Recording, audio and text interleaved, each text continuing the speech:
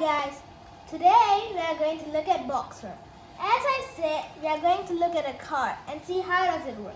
So today we'll be looking at Go Kart. Okay.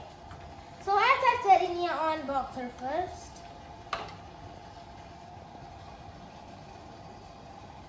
Okay, it takes a while. Yep, a very long time because sometimes it'll take a very long time. Okay.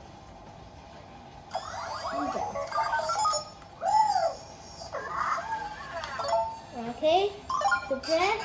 Definitely press this to scan. Using this game card, you need to use the remote control. Just press one stun button. Okay, so now you just keep Boxer there and then go. But he wouldn't just go like that. Sometimes he has problems going. That's it. Okay, that's of here. So do. And as I said, lots of me. He Walks was kind of careless sometimes. So you just need to make it recognized. So mostly everyone say to use the remote control. I don't like using a remote control.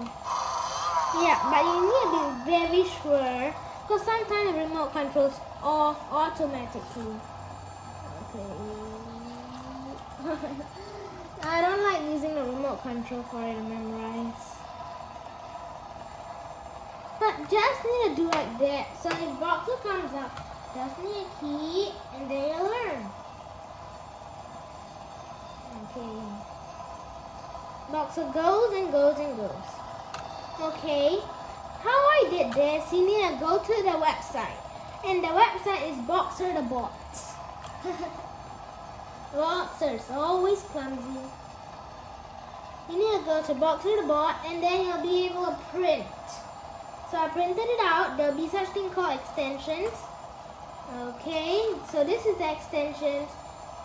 You'll know which one to cut if it shows the scissors sign. Okay. Okay, I still have lots of extensions left. Okay, as you're saying, we are going to look at this. Okay, they're not only like that, they are lots more. Okay, this is just for starting without the cutting and everything. So this is the this is the circle, oval, and the U shape. Okay, so that's all for today. Okay, as I said, again, I'm to control. And then, of course, if you want to end it, you need to press this to off. Yep.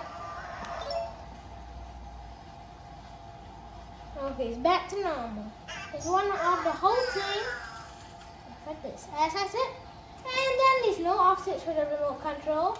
They're off by its own. Okay, so that's all for today. Bye and see you soon.